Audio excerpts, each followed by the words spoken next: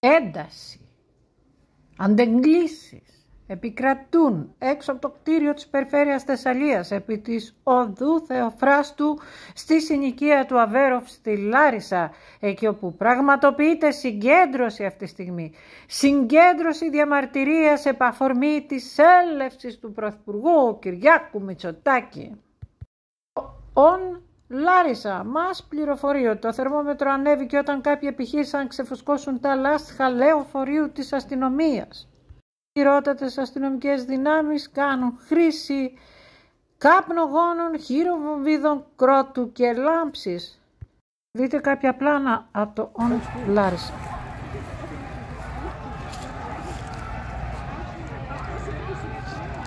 Απομακρυνθείτε από τις φασαρίες και μαζευτείτε σε ένα σκουπίο!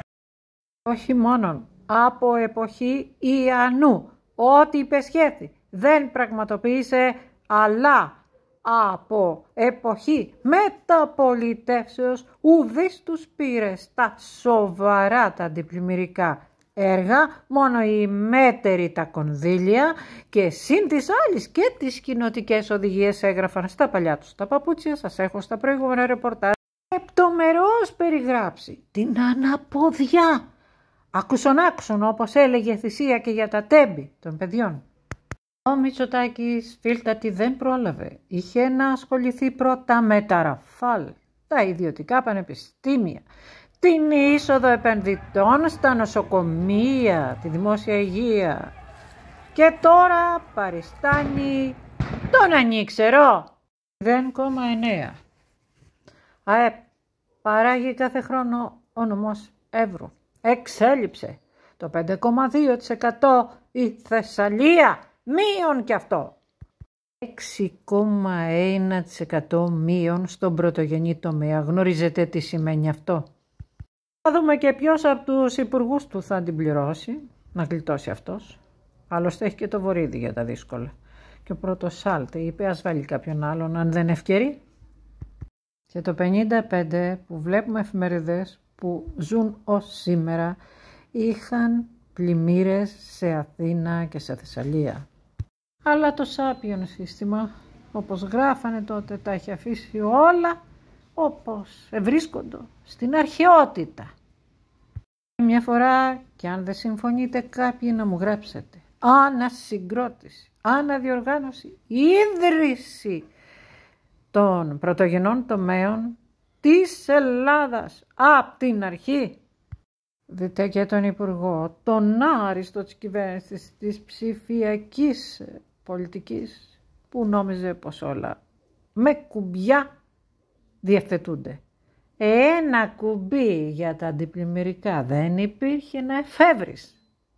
Χάσατε και τις αποκαλύψεις περί ελικοπτέρων, Σινούκ, Χιούι και άλλων. Η ελβετική πρεσβεία επιβεβαιεί, πει πως αυτά τρέξανε και στον Εύρο και στη Θεσσαλία. Τα δικά μας βυθισμένα στη λάσπη. Παρετήσου φλόρε και εισήν αυτό. Κανένα στρατηγός δεν τολμά να προσφύγει στη δικαιοσύνη, να μάθει γιατί παρακολουθεί το κάτι πολύ μελανό συμβαίνει. Σοου και στην καρδίτσα έδωσε ο Μητσοτάκης, ο αγοραστός. Φυγαδεύτηκε, περιφερειάρχης Θεσσαλίας. Και ο κύριος που βλέπετε. Διακριμένες ειδήσει, αγκαιρή και αγκυρή ενημέρωση, εγγράψου. Κοινοποίησε να το γνωρίσουν όλοι. Μέτρα που ανακοινώνει, άμεση στήριξη πληγέντων για κάλυψη πρώτων βασικών αναγκών, στήριξη για την αποκατάσταση περιουσιών, αγροτικών και υποδομών που έχουν καταστραφεί αντιπλημμυρική, αντιπυρική θωράκιση περιοχών στο πλαίσιο συνολικού σχεδίου ανασυγκρότησης. μετέδωσε επίσης ότι θα συγκροτηθεί ειδικό ταμείο με εθνικούς πόρους αλλά και με ευρωπαϊκά κονδύλια. Για να δούμε, θα τον παραπέψουν ευρωδικαστήριο που εγώ επιμένω ή θα του δώσουν κι άλλα αφού δεν υλοποίησε τίποτα. Αρχική ενδεχόμενο μετάθεση των αυτοδιοικητικών εκλογών.